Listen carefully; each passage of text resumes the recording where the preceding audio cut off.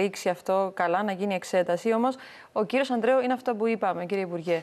ο κύριος Ανδρέου ναι. ε, μου έστειλε ένα μήνυμα ναι. εχθές που ήταν και πολύ δύσκολη μέρα με αυτά, ναι. που εξηγούσε το πρόβλημά του. Εγώ αμέσως έδρασα και πήρα, πήρα κάποιες απαντήσεις από το Γενικό Νοσοκομείο Λευκοσίας. Γιατί αναβαλόταν, ε, είναι εντάξει, θέμα... Κάποιες, κάποιες, μία από τις δικαιολογίες που έχω λάβει ήταν ότι ένα μηχάνημα έχει, ε, είχε πρόβλημα ένα μηχάνημα, αλλά δεν είναι κάτι που μπορώ να το δικαιολογήσω ναι. τόσο, τόσο αυτό. είναι κάτι που πρέπει να ότι το είναι κάτι το οποίο ε, δεν χρειάζεται παρέμβαση του Υπουργού Υγείας ή κάποιος να βγαίνει στα συμφωνώ κανάλια. Συμφωνώ μαζί σας, αλλά ναι. τη συγκεκριμένη στιγμή ε, τα νοσοκομεία τα, τα δικά μας και όχι μόνο τα δικά μας και όλος τον κόσμο δέχονται τρομερή πίεση, όχι λόγω COVID, αλλά δέχονται τρομερή πίεση για διάφορες λοιμώξεις.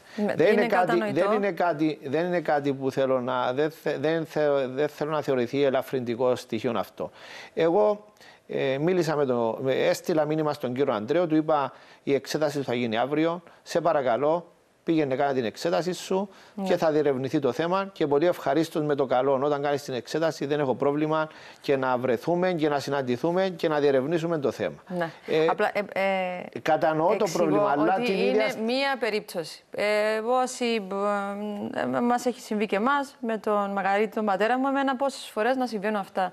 Δεν λέμε κάτι για τα δημόσια νοσηλευτήρια, για το, τα νοσηλευτήρια του ΟΚΙΠΗ. Ε, και, οι, και οι γιατροί και οι νοσηλευτές δίνουν το άπαντο δυνάμεων τους, αλλά αυτά δεν μπορούν να συμβαίνουν όμως. Είναι Συμφ, κατανοητό. Συμφωνώ μαζί ναι. σας.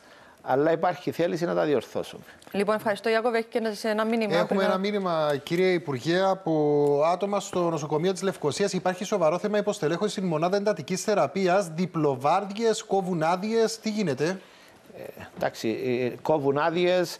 Ε, δεν το γνωρίζω αυτόν, αλλά ε, η ενημέρωση που, έχω, που, έχω, που, που είχα είναι ότι αυτή τη στιγμή, επειδή θα υπάρξει σημαντική ανάγκη από νοσηλευτές, ε, είπαμε να μην δοθούν αρκετές άδειες.